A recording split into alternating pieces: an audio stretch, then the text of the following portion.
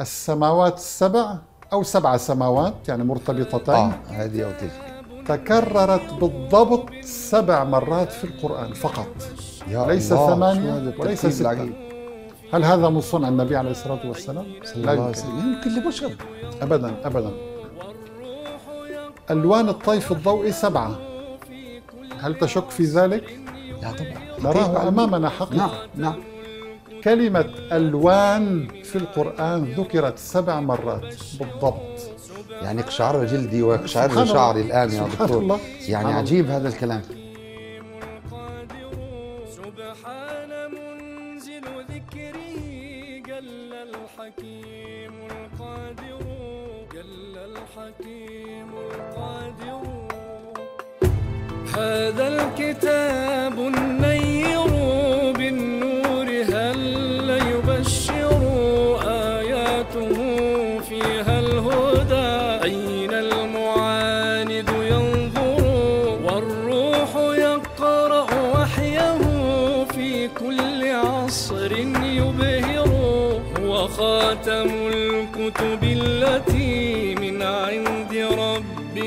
تبشر سبحان منزل ذكره جل الحكيم القادر.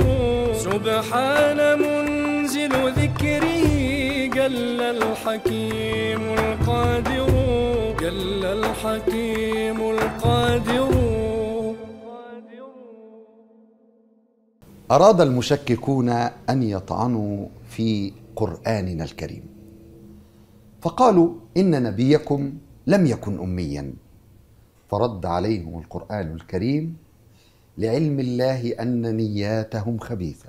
فقال الله تبارك وتعالى لنبيه صلى الله عليه وسلم في آية كريمة تدحض تدحض كل مشكك. يقول الله تبارك وتعالى وما كنت تتلو من قبله من كتاب ولا تخطه بيمينك إذا لارتاب المبطلون. صدق الله العظيم. فأمية النبي صلى الله عليه وسلم هي قمة الإعجاز.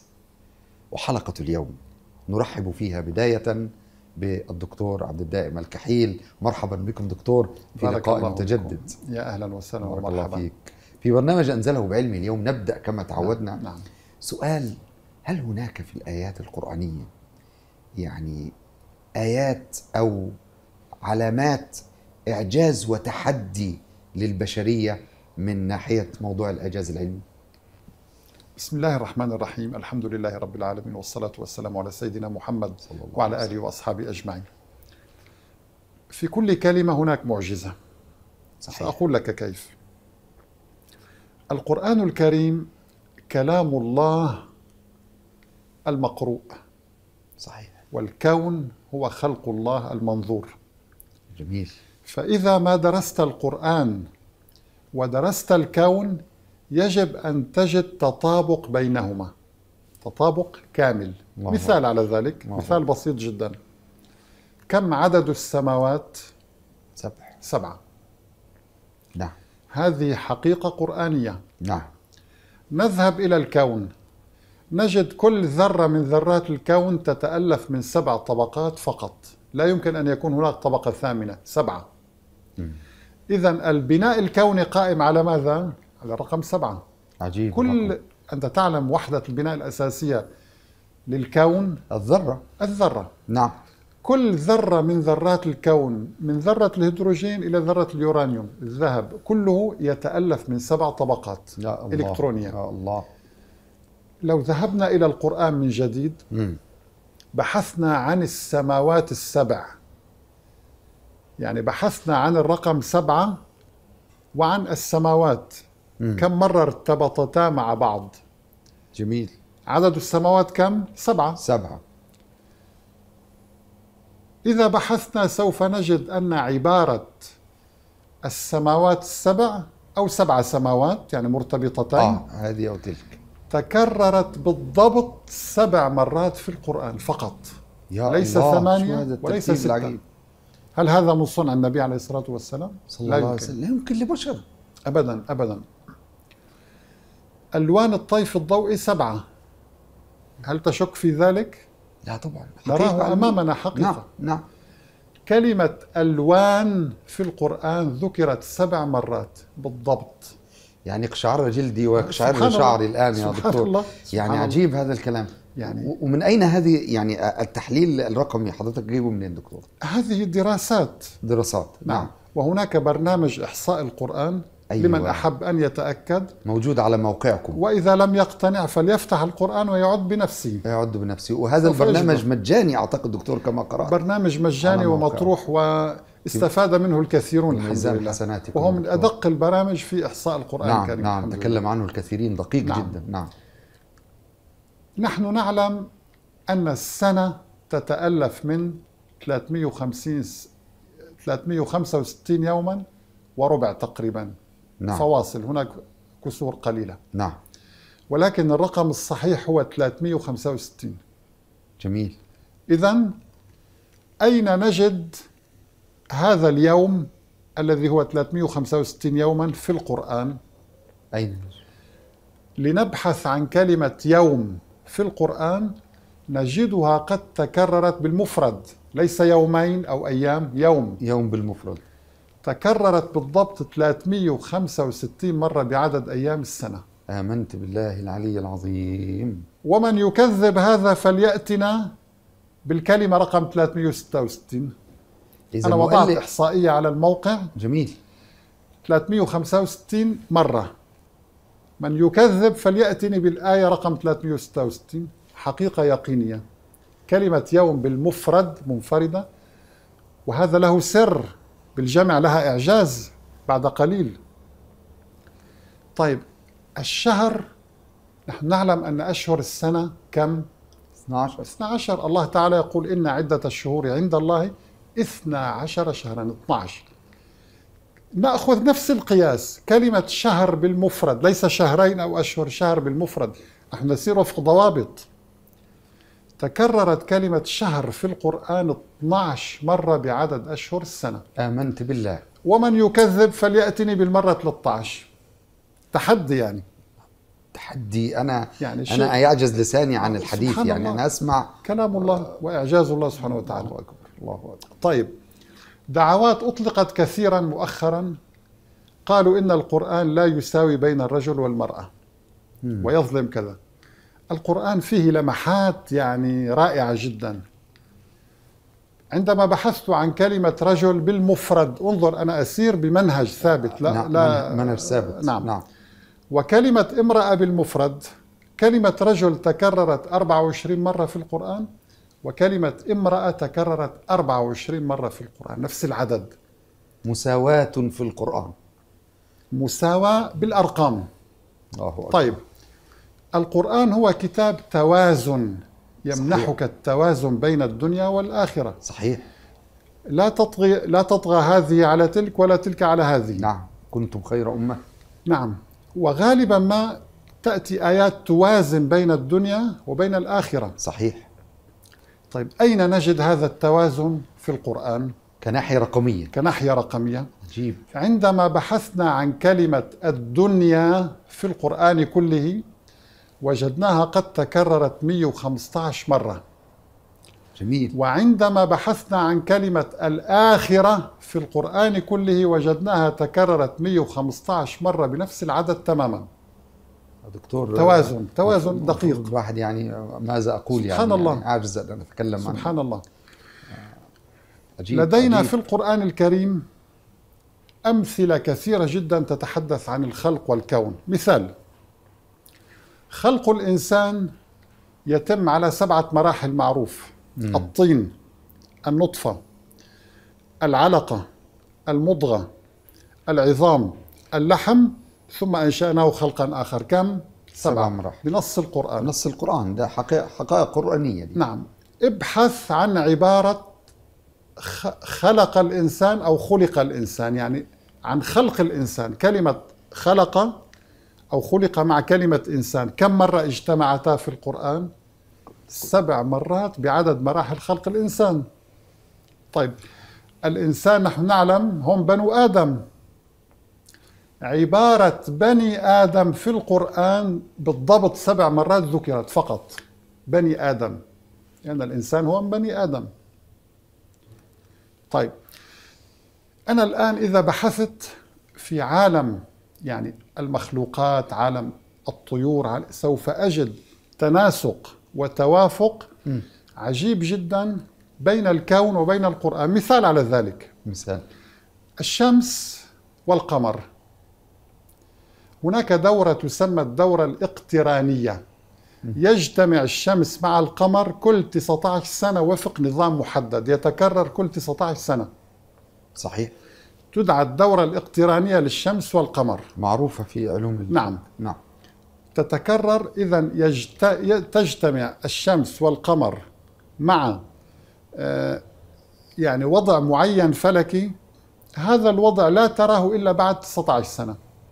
ما علاقة ذلك بالإعجاز؟ مدتها 19 نعم. كلمة الشمس اجتمعت مع القمر في 19 موضعا فقط من القرآن. يعني المشاهدين أنتم متحملين هذه الإعجازات التي تسمعونها؟ نكمل. يعني أنا أنا أقف يعني يعني كل ذرة في جسد أي إنسان لا أقول مؤمن أو غير مؤمن يسمع هذا الكلام وهذا الإعجاز في كتاب الله بهذه الدقة لا يسعه إلا أن أقول. إلا أن يقول لا إله إلا الله. لا إله إلا الله الذي أنزل هذا الكلام بتلك الدقة. فلو اجتمع أعظم مؤلف في العالم ليكتب كتابا يضع فيه كلمات بهذه الأعداد والتناسبات الدنيا والآخرة بني آدم خلق الإنسان آه، الاجتماع الشمس والقمر لا يمكن. لا يمكن إلا أن نقول آمنا بالله وحده آمنا بالكتاب الذي أنزل وبالنبي الذي أرسل. صلوات ربي وسلامه عليه. أنزله بعلمه.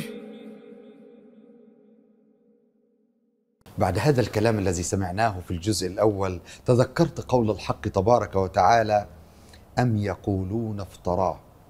قل فأتوا بعشر سور مثله مفتريات دكتورنا نعود ونسأل. يعني بمناسبة الحديث عن الإعجاز الرقمي لماذا هذه الآية التي ذكرتها الآن آه، وقرأتها على المشاهدين؟ نعم. ذكر الرقم عشرة بالتحديد. سبحان الله كل رقم له حكمة يعني لا يوضع عبثا في القرآن. فالله تحدى الإنس والجن أن يأتوا بمثل هذا القرآن. صحيح. وتحداهم أن يأتوا بسورة. وتحداهم ولكن هذه موقع هذه الآية أين نجده في القرآن؟ يعني هناك دائما ترتيب محكم. اتحفنا دكتور. نعم. هذه الآية وردت في سورة هود عليه السلام. عليه السلام. ما ترتيب سورة هود؟ سورة هود يسبقها من القرآن عشر سور. هي السورة رقم 11 يا الله. فبعد عشر سور عندما يعني تقرأ هذه العشر سور وتستوعبها يقول لك الله قل فأتوا بعشر سور مثله مفتريات. انظر الدقة. طب هذه الآية نزلت أين؟ بمكة. سبحان الله. بينما سورة البقرة وآل عمران والنساء والمائدة والتوبة ما قبل تقريبا في المدينة. في المدينة. بقى كثير منها في المدينة. ورتب القرآن ترتيباً طبعا وحي. من من من من توقيفي. من- من- الترتيب توقيفي نعم. توقيفي. نعم. فكيف جاء موقعها هنا إذا أنزله بعلمه. حتى الله. ترتيب الآيات والسور محكم. سبحان الله. صلوات ربي وسلامه على من نزل عليه هذا الكلام. آه، كنت ذكرت كل- كلمة نعم. يوم نعم. تكررت 365 مرة بعدد أيام السنة. نعم. سألني أحدهم لماذا لم تأخذ كلمة أيام؟ وعندما بحثت أين أجد هذه الكلمة؟ وجدت أن الأيام القمرية القمر نحن نعلم الشهر القمري مدته 29 ونصف يوما تقريبا. نعم. وهذه الدورة الظاهرية تسمى الدورة الظاهرية للقمر. لماذا؟ مم. لأن القمر يدور والأرض تدور. نعم. فيأخذ تقريبا يومين وربع زيادة. سبحان الله. أما الدورة النجمية أو الحقيقية التي اكتشفت حديثا للقمر هي 27 يوما تقريبا. سبحانك يا رب. القمر عدد الأيام التي يدور فيها القمر دورة كاملة حول الأرض إذا راقبته من خارج المجموعة الشمسية تمام.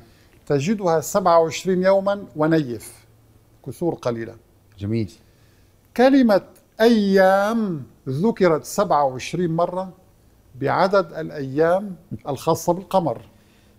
دقة وكلمة قمر ذكرت 27 مرة أيضا. يعني, سبحان يعني الله العلي كيف يحدث. ذلك؟ لو لم يكن هناك سبحان الله سبحان الله. برنامج في القرآن بر مثل برامج الكمبيوتر. الله أكبر. كل كلمة مبرمجة. مثال على ذلك. الله أكبر. في القرآن الكريم يأتي الليل النهار الشمس القمر. قال تبارك وتعالى في سورة الأنبياء وهو الذي خلق الليل والنهار والشمس والقمر كل في فلك يسبحون. صحيح. في آية أخرى ومن آياته الليل والنهار والشمس والقمر. نعم. آية ثالثة وهكذا. حتى تجد أن الليل يأتي قبل النهار. نعم. والليل إذا يغشى والنهار النهار إذا تجلى. تجلى. خلق الليل والنهار. نعم صحيح. كله هكذا. الشمس تأتي قبل القمر أيضا. سخر الشمس والقمر. يعني نظام هناك نظام نظام نعم. ثابت في ال... طب لماذا هذا الترتيب؟ يعني. لماذا الليل أولا قبل النهار والشمس ثم قبل النهار القمر ثم الشمس ثم القمر آه. آه. تبين أن هناك نظام أشبه ببرنامج كمبيوتر موجود في القرآن عجيب الكلمة لو أخذنا هذه الأربع كلمات سوف نجد الكلمة الأكثر تكرارا بينها هي كلمة الليل مم. تليها كلمة النهار ثم الشمس ثم القمر الأقل تكرارا رتبت في القرآن حسب نسبة تكرارها في القرآن. الله أكبر الله سبحان أكبر. الله. عجيب عجيب عجيب. وهناك ترتيب كوني أن معظم الكون مليء بالظلام أكثر من 99% مم.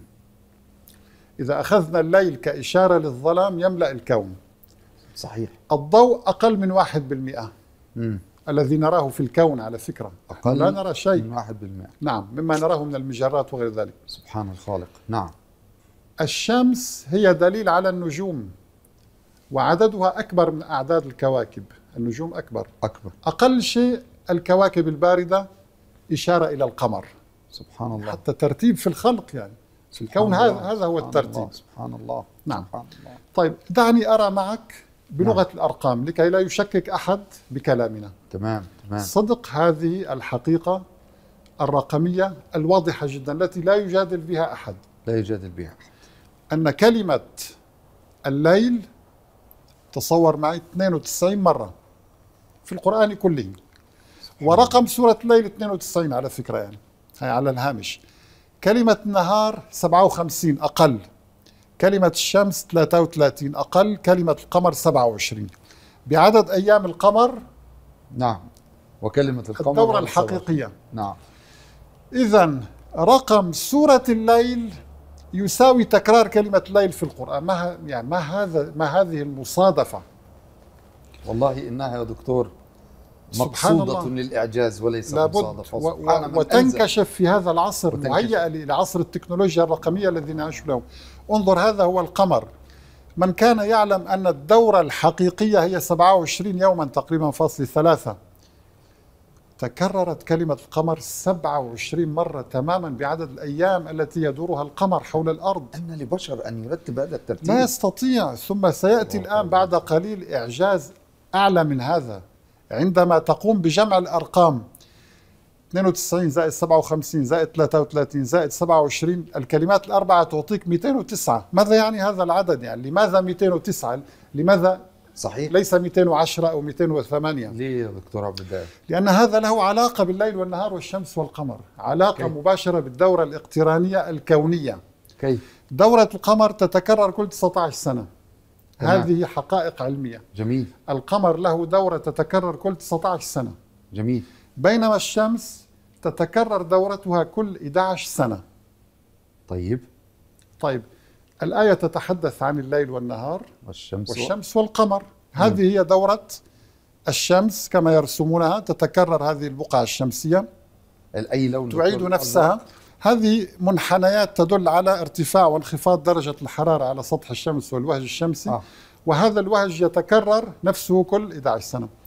الآن العدد 11 مضروب ب 19 هو 209 عدد كلمات الليل والنهار والشمس والقمر. يساوي دورة الشمس مضروبة في دورة القمر. كأنه هذه حسابات رقمية معقدة ودقيقة ولم يصل إليها العلماء إلا حديثا. كأنها توحي لي أن الخليط الكوني والإعجاز الرقمي مصدره واحد. هو الله سبحانه وتعالى. أحسنت يا دكتور والله. لأن العلماء قالوا إن الكون بني على لغة الرياضيات والأرقام. سبحان الله. الكون بني على لغة الرياضيات. معروفة هذه حقيقة. نعم نعم نعم. فلا بد أن نجد هذه اللغة في كلام خالق الكون. سبحانه وتعالى. أحكمت آياته. آياته. وكذلك كما أحكم آياته فهو من باب أولى قد أحكم كونه جل في علاه. سبحانه وتعالى. الله سبحانه وتعالى. والله يا دكتور يعني أنت بهذه ال- المعلومات القيمة آه، أسأل الله تبارك وتعالى يجعلها فيك. ميزان حسناتك بارك الله. وأن يجعلها كذلك يعني طريقا أيها الأحباء طريقا لنور الهداية نحن في عصر العولمة عصر الأرقام عصر التكذيب والتشكيك يخرج لنا باحثون أمثال الدكتور عبد الدائم وغيره ليبينوا للناس ما هو موجود حقيقة في القرآن من 1400 سنة لكنه انكشفت عنه الحقائق العلمية التي وصل إليها بنو آدم. لا يسعنا أن نقول بعد هذه المعلومات الدقيقة إلا أن نشهد من قلوبنا بأن الله عز وجل هو الخالق القادر بأن الله عز وجل هو منزل القرآن هو منزل القرآن على قلب محمد صلى الله عليه وسلم ليكون العالمين نذيرا. أحبتي الكرام في نهاية حلقتنا نشكر الدكتور عبد الدائم كحيل على هذه المعلومة التي أثارتني أنا شخصيا وجعلتني أجلس يعجز لساني عن النطق أمام هذا الإعجاز. وكما قال الله تبارك وتعالى وعلمك ما لم تكن تعلم وكان فضل الله عليك عظيما. صدق الله العظيم. الوحي هل معطرا بالخير جاء منورا والغار غرد ذكره جبريل يقرأ كررا. قد أحكمت آياته بالخير فاض وبشرا. ختم الجمال بعطره والله وصورا. ختم الجمال بعطره والله أوحى وصورا.